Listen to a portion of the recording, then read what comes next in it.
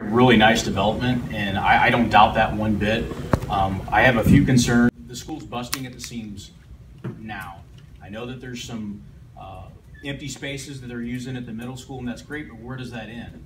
Uh, my wife and I had to subject our, our fourth grader to a raffle at this last during the middle of the last school year because so many kids came in during the middle of the school year that they had to add a third fourth grade classroom and correct me if I'm wrong, I believe the teacher's contract allows uh, 28 students in a class.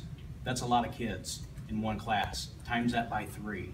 And this type of development concerns me of the added burden at a quicker pace than what you would have if you'd have any residential. Secondly, I, I'm concerned with the fact that I just think the area is becoming oversaturated with these types of developments. You'd have this, now you have Watermark wanting to rezone prime uh, commercial real estate.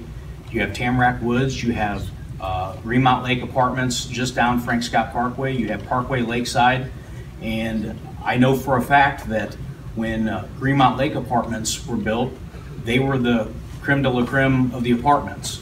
And then Tamarack Woods came along and it kind of went down a little bit. Parkway Lakeside came along and it went down a little bit. And now they're forced into uh, government subsidized uh, apartments for some of their units. That's just a concern for mine. I, I, don't speak for everybody here, but I think for a lot of us residents, uh, our idea of smart growth for Shiloh isn't uh, more uh, high density uh, multifamily housing units. I agree with George. Uh, This multifamily saturation is absolutely horrible. And what a lot of you people may not know in here is Dierbergs owns that property. And went belly up from the McEagle project, we've been sitting down looking at an empty field. The back south corner of that is zoned multifamily. And they plan on moving forward with that faster than predicted because there's no growth in there right now. So that's coming. So now we're gonna have about seven multifamily residents within walking distance on this of town. This is beautiful, it's neat, I would live there in Florida or somewhere, not here in Illinois.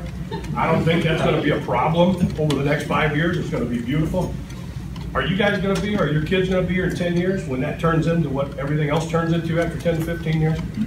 There's too many multifamilies and nobody can tell me in this room that that is good for this community.